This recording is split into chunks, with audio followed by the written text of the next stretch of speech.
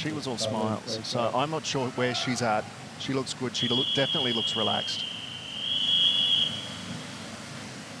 Starting with a bang this week, Ariarne Titmus from lane four.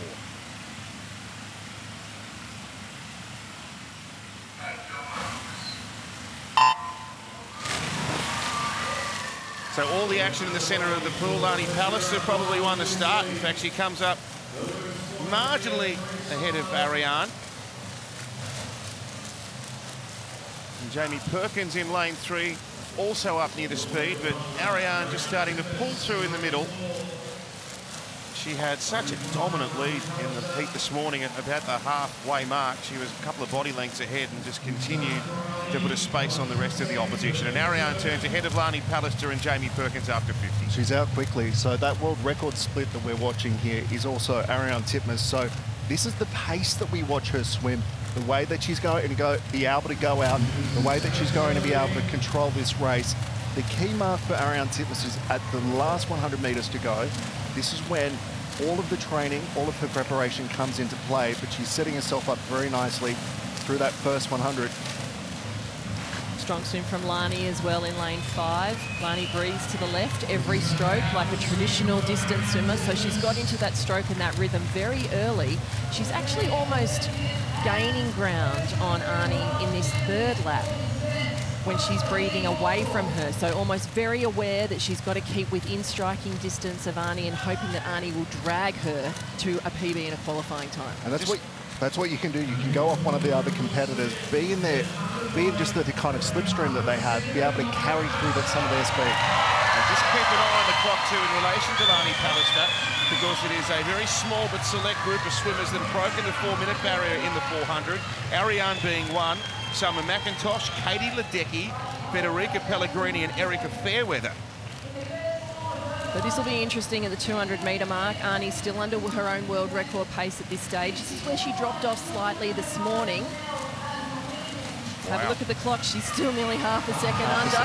She's been consistent every 50 metres. Let's see if this crowd can also help Arnie uh, through this race. But Lani Pallister being able to stick it with her right here, incredibly impressive.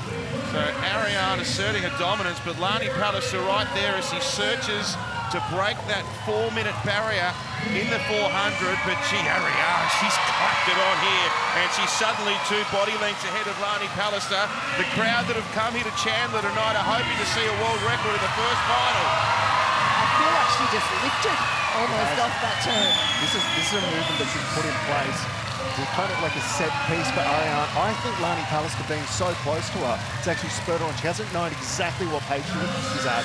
She wants to be out ahead. She wants to have that lead, almost bring it to four or five metre mark lead. Key point, last 100 metres.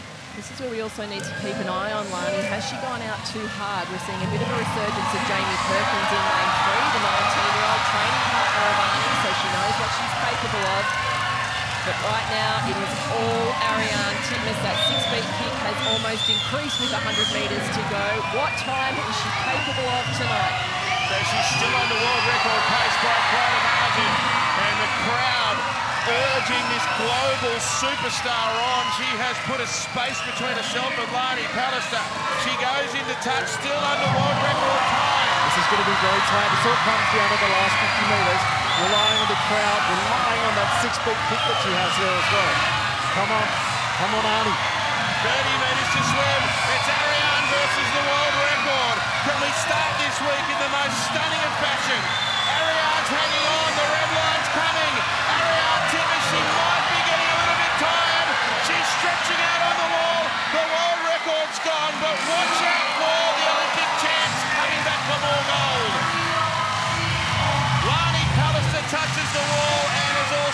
booked a spot for Paris.